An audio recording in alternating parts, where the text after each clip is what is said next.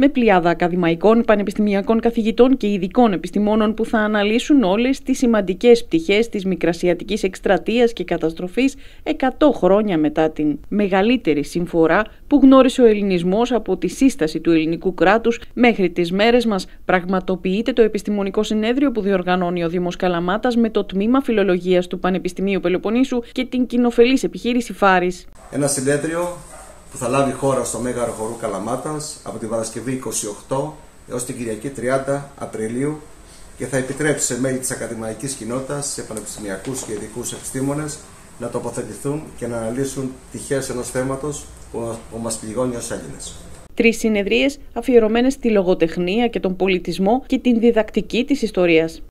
Πράγματι το συνέδριο αυτό συμμετέχουν ακαδημαϊκοί που καλύπτουν τα πεδία και της λογοτεχνίας και του πολιτισμού αλλά και της ιστορίας, σημαντικοί επιστήμονες και νομίζω ότι θα είναι μια ευκαιρία σε ένα λαμπρό κτίριο που διαθέτει η πόλη της Καλαμάτας να φιλοξενηθεί ένα συνέδριο το οποίο θα συμβάλλει και ουσιαστικά ελπίζουμε και με την έκδοση των πρακτικών στην ε, προώθηση αυτού που είπα προηγουμένως της μνήμης, δηλαδή της μικρασιατικής καταστροφής η οποία δεν πρέπει να ξεχαστεί κυρίως γιατί μέσω αυτής δόθηκε η ευκαιρία να αναζωογονηθεί η ελληνική κοινωνία και η Ελλάδα πλέον να μην είναι αυτό που ήταν πριν από 1922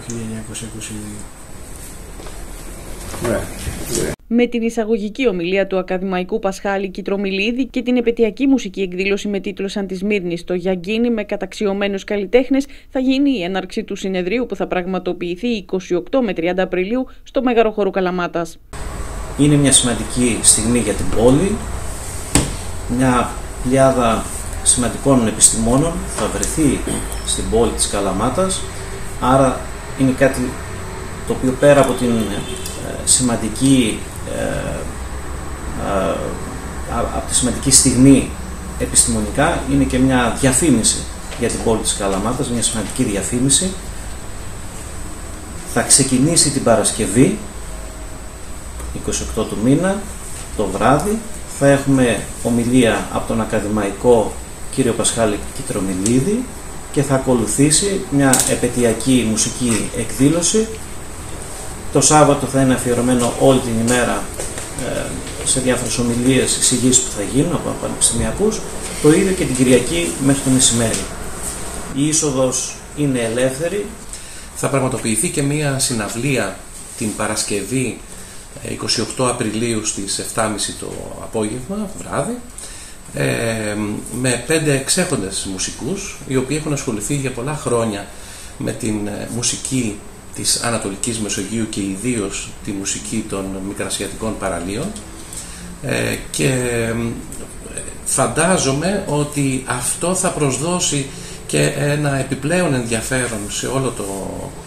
ε, επιστημονικό συνέδριο καθώς